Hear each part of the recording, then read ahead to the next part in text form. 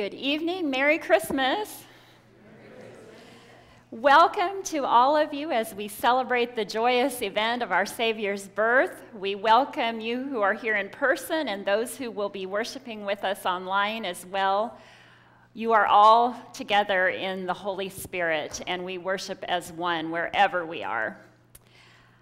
I wanted to uh, try to explain a little bit of the details of how things will be happening tonight because it's going to be a little different. Uh, this is our first, and I pray our last COVID Christmas uh, we will celebrate, but uh, things will be done a little bit differently. So um, as you go out to your right on the table there, there's a an offering plate if you'd like to leave your offering there, and also a, um, a place to put your communion cards. So just leave them as you leave the church this evening. Um, communion this evening will be pilgrim style, so we will do one side of the church at a time. One family will be ushered up, and uh, we will um, drop the wafer into your hand, and then you will take your cup of wine yourself. And um, when you're finished, there's a basket on either side to leave the little cups in that the wine are in. And uh, we will wear our masks and our gloves for that. So we're doing that a little bit differently this evening. Bear with us uh, as we figure it all out. Um, when it comes time for the candle lighting, we'll be having ushers on two in the side and two on each side aisle, and they will light uh, each family the first person's candle, and then you'll light the candles as you always do for the people next to you. So, um, any other announcements?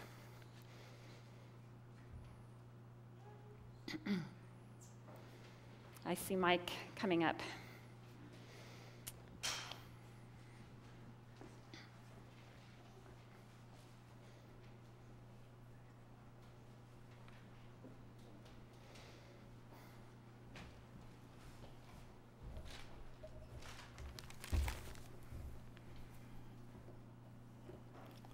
Good evening, and Merry Christmas to all. Um, one thing that Pastor said when we do the, the pilgrim style communion, the assistant will hand you your, Okay. your, your wine, and then you can put it in the basket when you're done, you're empty. Um, I'm going to start out with 2020, what a different year, as you all know. I'll give you a short recap of our church year. January 1st through March 15th, we had our regular church service with fellowship. to follow. Then, starting March 22nd through May 31st, we went to online church services only, which they was on the web page the pastor set up. A lot of extra work for her, and, and we thank her for that. Then on June 7th, with some restrictions, we went back to our regular church services with no fellowship through the month of September. Then Fellowship after our church services resumed for the month of October. So we had um, fellowship through the, the, entire month of October, and then once again, um, we didn't have any fellowship, and that's where we're at right now. The, and you're probably wondering why I'm telling you about fellowship and everything. Because the last two years, this will be the third year, anything that we collected at our at our fellowship always went to the pastor um, to help with her education or a Christmas bonus. So that's a big part of our church in helping the pastor out and, and, and, and our Christmas bonus.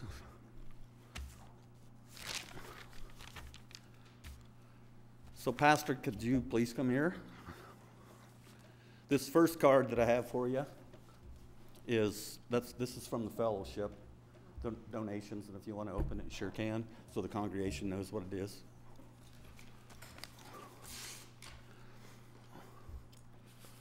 Well, it's a beautiful card, and it's a check for $500. Thank you. So yes, fellowship is a big part of our of our church. Um, so please attend fellowship. Hopefully, we won't have another year like this year, and we can get back to, to normal and uh, look forward to seeing everybody at fellowship and church. Just don't go to fellowship. Make sure you come to church too. and then the second thing is from the congregation, and it's for Not only you, but for Rick too. well, thank you so much. And thank you for all you've done. It's, it's been a trying year for everybody. Um, as I say, we hope 2021 gets better. With, with God's help, I think it will, and, and a good leader. So thank you for all you do. Thank you. I have to mask up again. Uh, may I just say that um, this congregation is dear to my heart. I love you all. I pray for you all, and I appreciate what you do for me so much. Um, my seminary education is coming to an end. Uh, this was a very difficult semester, but I have only one more. I have the spring semester, and in May, God willing, I will uh, graduate. I will be fully. Um, hopefully going through the certification process through our uh, LCMC association, and that will mean that I am completely uh, certified or certifiable, whatever. but um, anyway, so I will be, there is an end, uh, and, and your help financially has meant the world to us, and I, I thank you so much. now, back to where I was.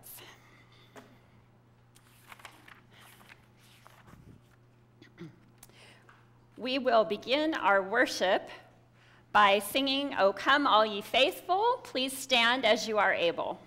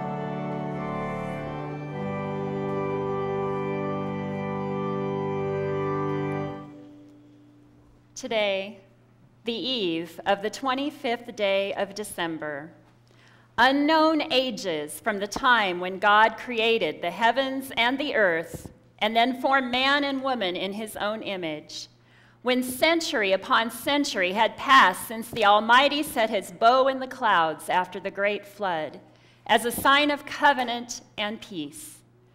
In the 21st century, from the time of Abraham and Sarah, our father and mother in faith, in the 13th century, since the people of Israel were led by Moses in the Exodus from Egypt, 1100 years from the time of Ruth and the judges, around the thousandth year since David was anointed king, in the 194th Olympiad, in the year 752 since the foundation of the city of Rome, in the 42nd year of the reign of Caesar Octavian Augustus, the whole world being at peace, Jesus Christ, eternal God and Son of the eternal Father, desiring to redeem the world by his most loving presence, was conceived by the Holy Spirit. And when nine months had passed since his conception, was born of the Virgin Mary in Bethlehem of Judah and was made man. Today is the nativity of our Lord Jesus Christ according to the flesh. You may be seated. We worship in the name of the Father, and of the Son, and of the Holy Spirit.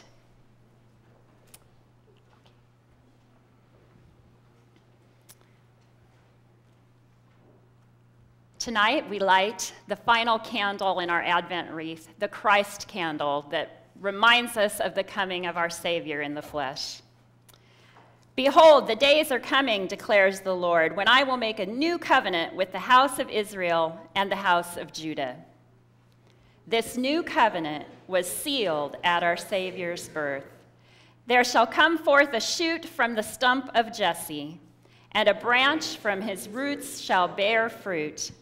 As Isaiah said long ago, For to us a child is born, to us a son is given, and the government shall be upon his shoulder, and his name shall be called Wonderful Counselor, Mighty God, Everlasting Father, Prince of Peace.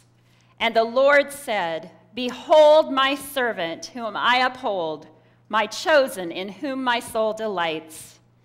I have put my spirit upon him. He will bring forth justice to the nations. This one whom the prophets foretold is the Messiah, the King of kings and Lord of lords. It is he whom we worship, it is he whom we adore. Please join in singing I Am So Glad each Christmas Eve.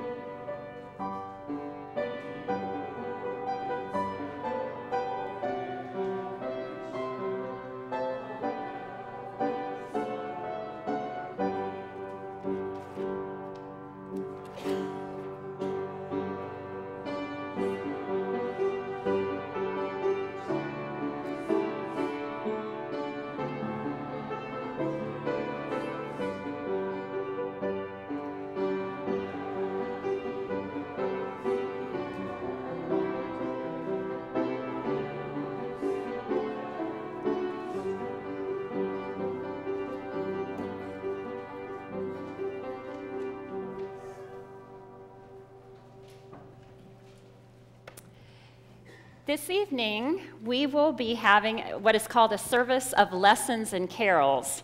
So rather than a, a, sermon preached by me, what you will hear are readings from Scripture and then um, the carols that we sing. And all of those proclaim the message of Jesus as our Savior, ever as much as a sermon does. So think of the readings and the singing as your, as your sermon this evening. We begin with the Old Testament prophecies. The Christmas story begins with God's promise to Eve in the Garden of Eden that one day her offspring will rescue the world and undo the curse of sin. God's promise was repeated over the centuries by the Old Testament prophets.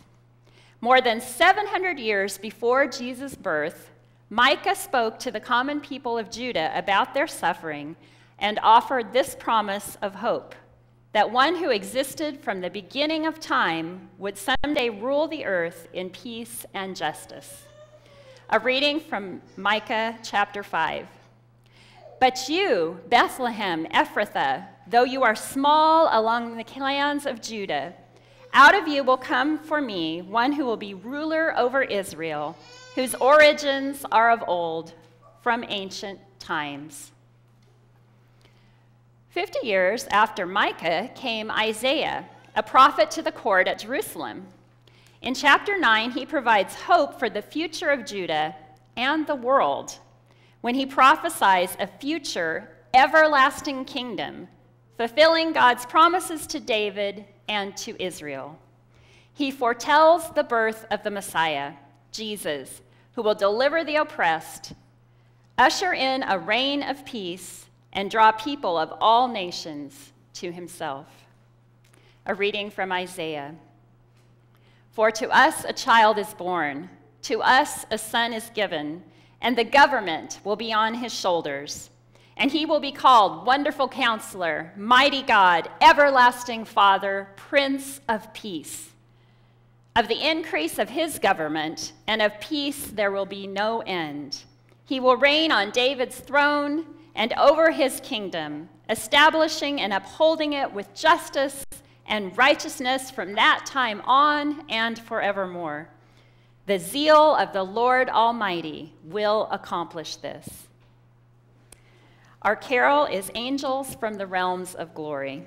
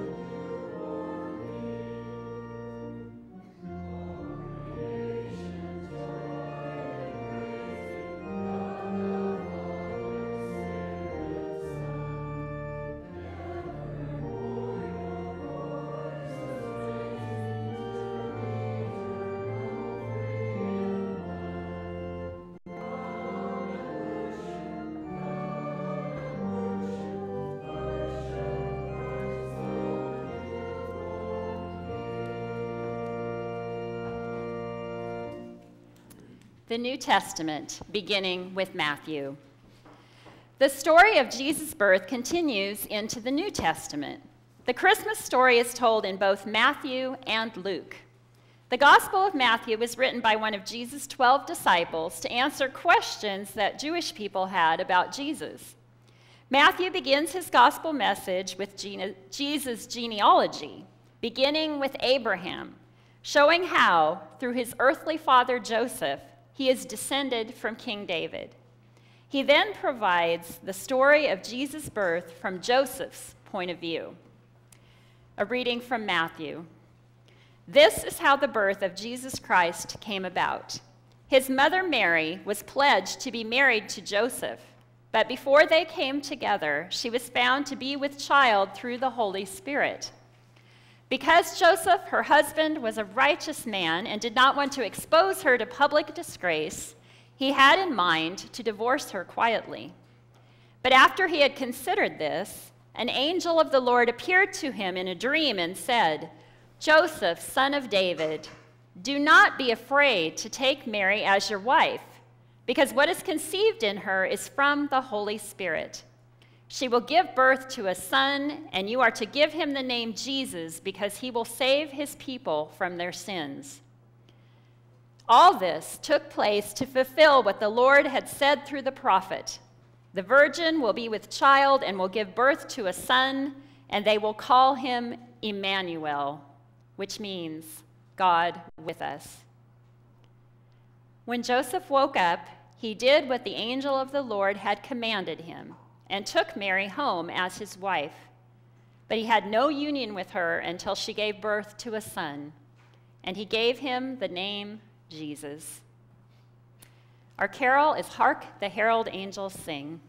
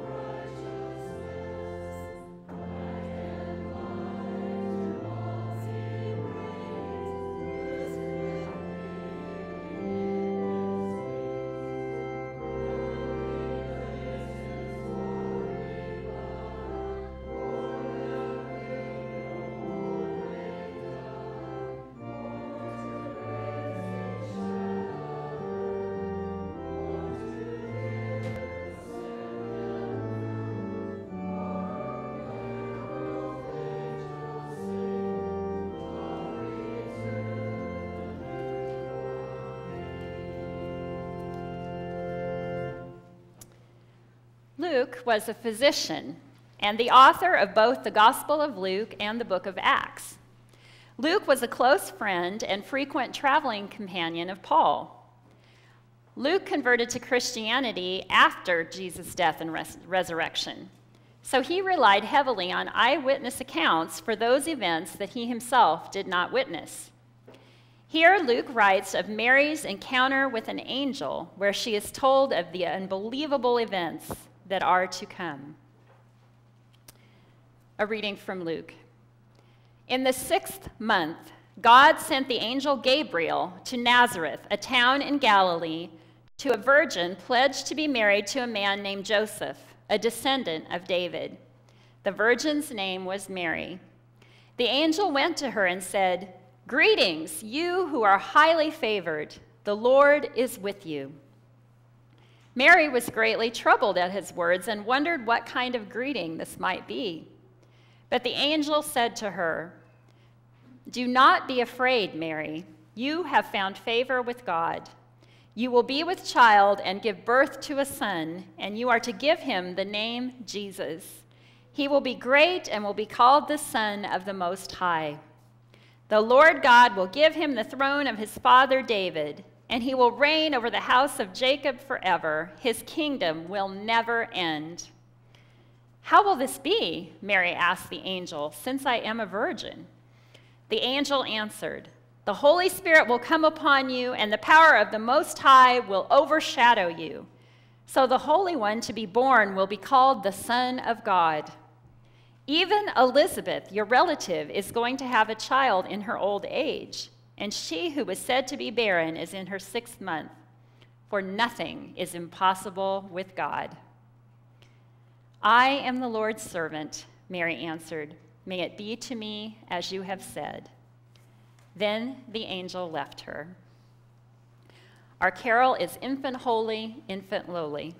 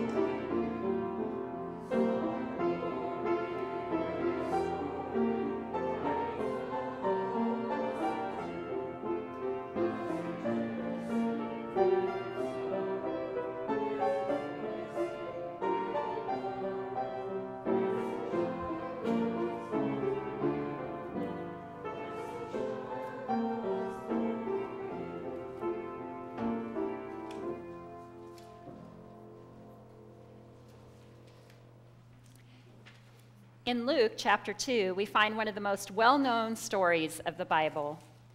Luke sets the stage before writing of Jesus' birth, the king and creator of the universe, humbling himself to be born as a poor and helpless baby.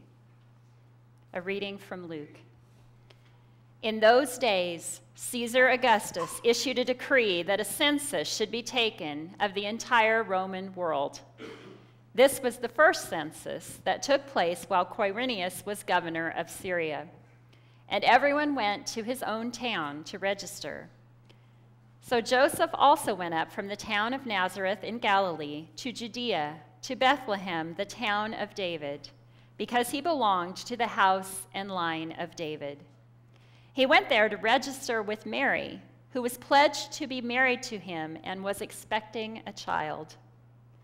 While they were there, the time came for the baby to be born, and she gave birth to her firstborn, a son. She wrapped him in cloths and placed him in a manger because there was no room for them in the inn. Our carol is Away in a Manger.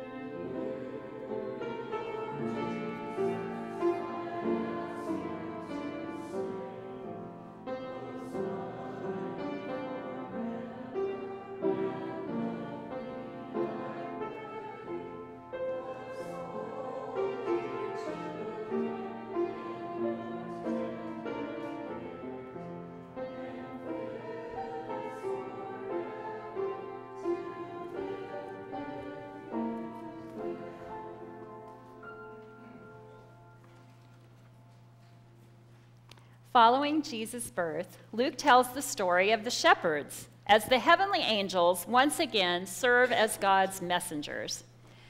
The Holy Spirit chose common shepherds to first share the story of the birth of the Messiah. And the Holy Spirit continues to rely on us common folks to tell the story of Jesus today. A reading from Luke. And there were shepherds living out in the fields nearby, keeping watch over their flocks at night. An angel of the Lord appeared to them, and the glory of the Lord shone around them, and they were terrified. But the angel said to them, Do not be afraid. I bring you good news of great joy that will be for all the people. Today, in the town of David, a Savior has been born to you. He is Christ the Lord. This will be assigned to you. You will find a baby wrapped in cloths and lying in a manger. Suddenly, a great company of the heavenly host appeared with the angel, praising God and saying, Glory to God in the highest, and on earth peace to men on whom his favor rests. Our carol is the first Noel, verses 1 and 2.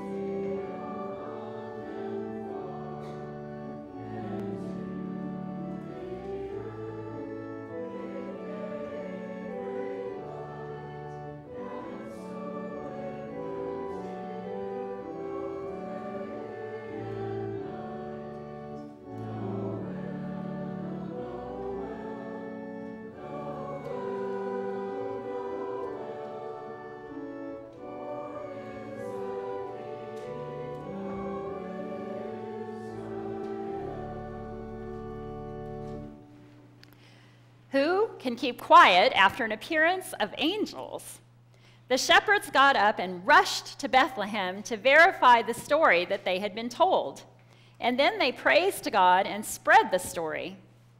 Christmas gives us the opportunity to follow Mary's example, to think deeply about what Jesus has done for us, and then to follow the shepherd's lead in telling others the wonderful news that Jesus was born, died, and rose again for them. A reading from Luke. When the angels had left them and gone into heaven, the shepherds said to one another, Let's go to Bethlehem and see this thing that has happened, which the Lord has told us about. So they hurried off and found Mary and Joseph and the baby who was lying in the manger. When they had seen him, they spread the word concerning what had been told them about this child, and all who heard it were amazed at what the shepherds said to them. But Mary treasured up all these things and pondered them in her heart. The shepherds returned, glorifying and praising God for all the things they had heard and seen, which were just as they had been told. At this time, I invite you to take a few moments of silent prayer as you prepare your hearts for Holy Communion.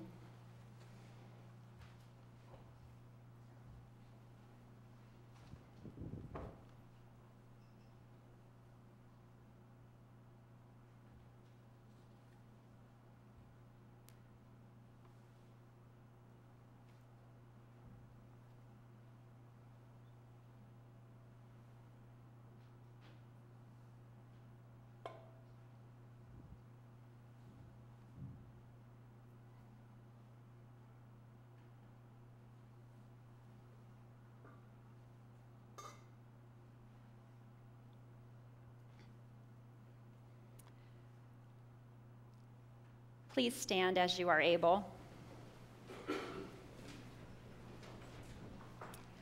The Lord be with you. Lift up your hearts.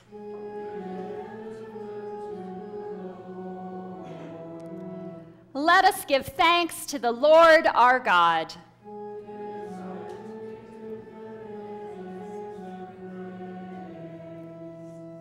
It is indeed right and salutary, our duty and our joy, that we should at all times and in all places give thanks and praise to you, Almighty and merciful God, through our Savior Jesus Christ.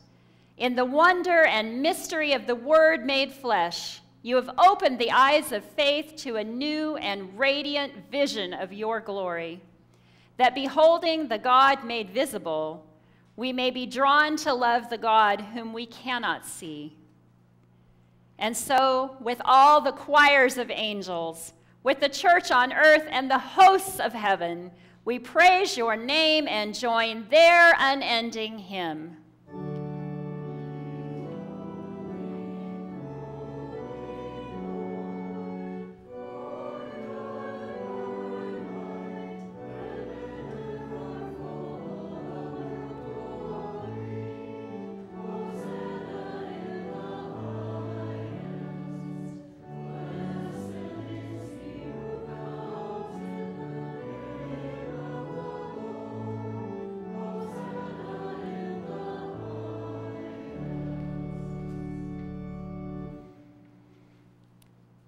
In the night in which he was betrayed, our Lord Jesus took bread and gave thanks, broke it, and gave it to his disciples, saying, Take and eat.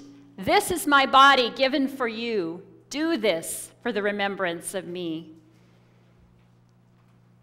Again, after supper, he took the cup, gave thanks, and gave it for all to drink, saying, This cup is the new covenant in my blood shed for you and for all people for the forgiveness of sins. Do this for the remembrance of me.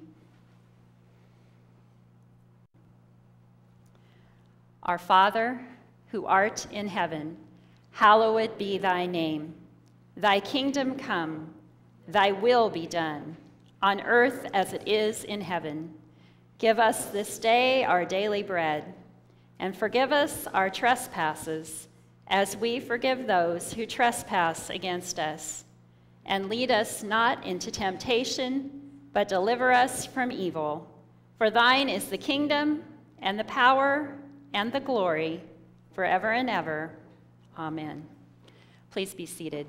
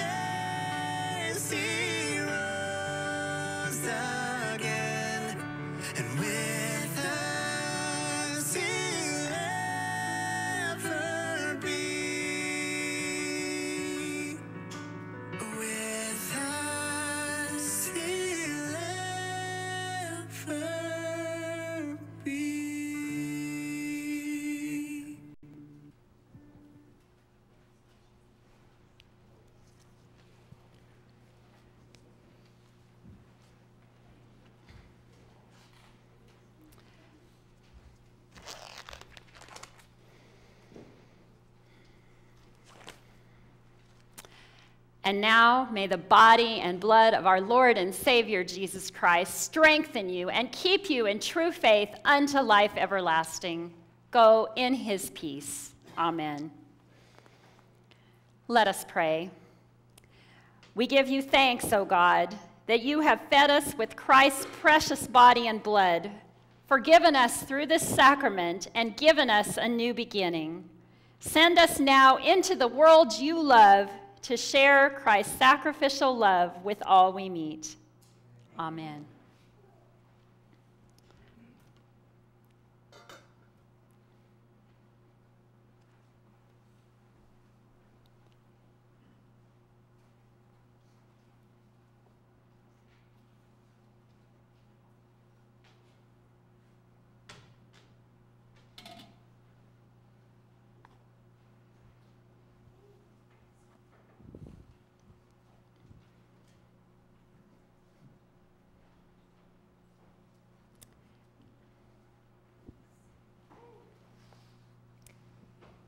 At this time, I would ask the ushers to dim the lights, and you may all take out your candles.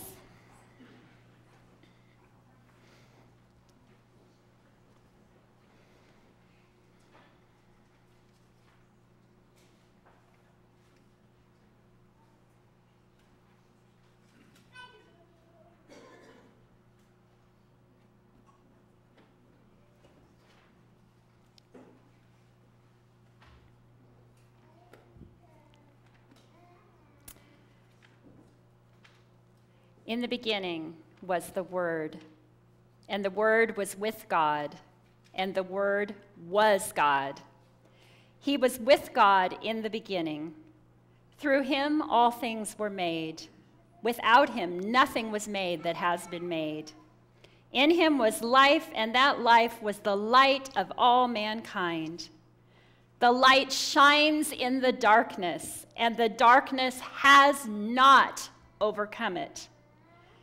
The Word became flesh and made his dwelling among us. We have seen his glory, the glory of the one and only Son who came from the Father, full of grace and truth.